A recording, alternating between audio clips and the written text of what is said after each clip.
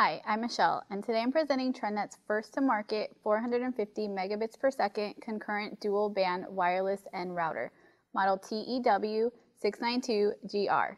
This is the most powerful router on the market to date and the first to support 450 megabit per second speeds on both the 2.4 and 5 gigahertz bands at the same time for an impressive total bandwidth of 900 megabits per second.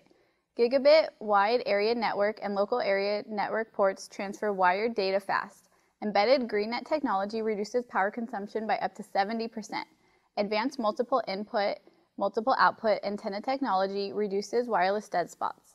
Wi-Fi protected setup or WPS technology connects adapters at the touch of a button.